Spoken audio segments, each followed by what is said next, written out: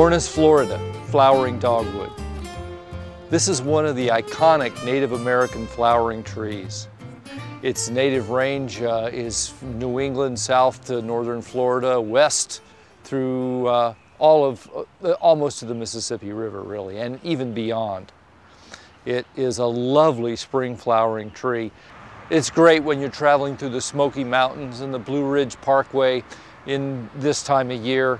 Uh, these and the red buds are often blooming together. It's a wonderful display.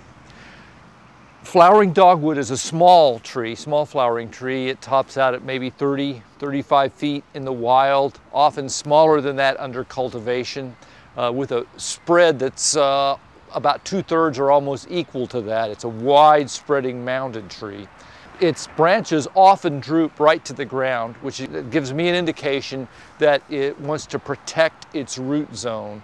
When I see that in a tree, whether it's a beech tree or the flowering dogwood, that is an indication that it's sensitive to root zone incursions. And so you want to protect that area around its base very carefully. Here at the garden, we have used a lot of mulch rings and uh, other ways to protect this from mowers. Um, there are several disease problems that are associated with dogwoods, and anthracnose is one of them. When we have a extended, cool, uh, rainy spring, um, the, the, uh, th this disease affects the flowers and also can affect the leaves um, all summer long. But generally, if you plant them in morning sun, where the sun uh, helps to dissipate the, the mo moisture and the dew from the leaves, that is advantageous for this tree. And then some afternoon shade is also good to uh, give it a break from the heat of the day.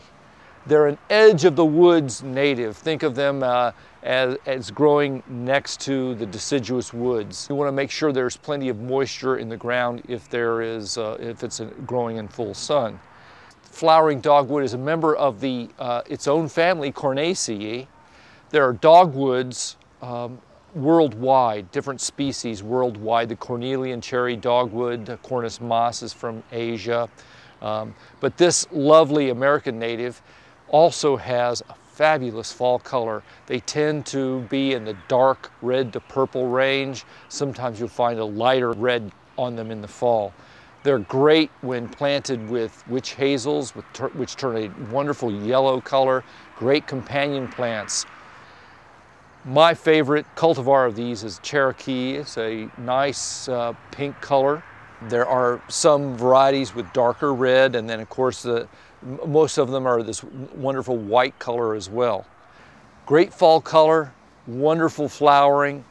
It's even got a wonderful shape, even during the winter time when no leaves are on the tree.